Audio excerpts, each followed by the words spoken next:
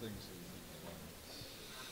Uh, not to allow, you know, uh, whatever's being said, you know, to affect, you know, who I am as a person. Continue to lead this team, uh, despite whatever's going on on the outside. You know, be that guy for the team. Uh, we got a lot of young players that look up to me, and uh, it's my job to not let, not let, you know, whatever happens on the floor, um, outside the locker room affect, you know, who I am. What are the sorts of things that affected you last season? Um, you know, I just allowed, you know, uh, what people said, you know, affected how I play. Um, I can't do that. I'm, I'm, better than that. How did it feel to be back inside Staples Center? It was fine. You know, I saw a lot of old faces, a lot of people that I made a connection with, uh, so I was happy about that. What are your feelings about uh, going to face the Lakers Thursday night? It's another game. Nothing more than that? It's another game. Are you in touch with any Lakers players? Oh yeah, I talked to a lot of the guys on the team. Uh, me and Jodie and uh, uh, Jordan and uh, Sacre, we have a great relationship, so we talk a lot. And I'm looking forward to seeing those guys. Have you talked to Kobe at all? Have I talked to Kobe? No, I haven't. Is there anything they could have did to maybe change your mind? Listen, it's over with, man. Like I'm already out of there. There's no need to talk about what the Lakers could have did. I made my decision, and I'm, I'm living with it. I'm happy where I'm at. I'm in a great place.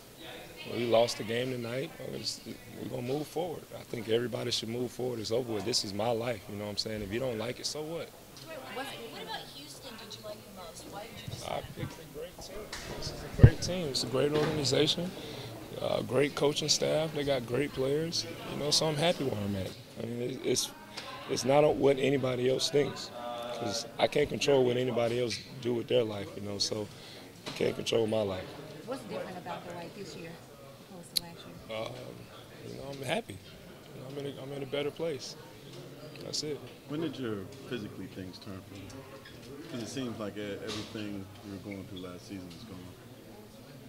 Uh, I mean, coming back from back surgery is, is tough on anybody. I came back uh, early than I was supposed to, but I wanted to win. I wanted to play, and uh, looking back on it, I think I should have waited.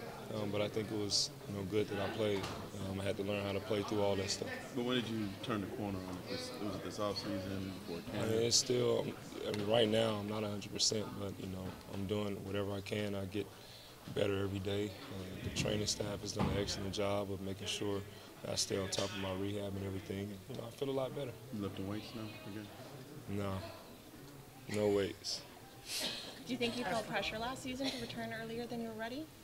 I mean, I just wanted to play. I mean, I felt like we had a great chance to win last year, and I wanted to come back, uh, play better than uh, what people said I played the year before, and uh, I think it was a little bit too early.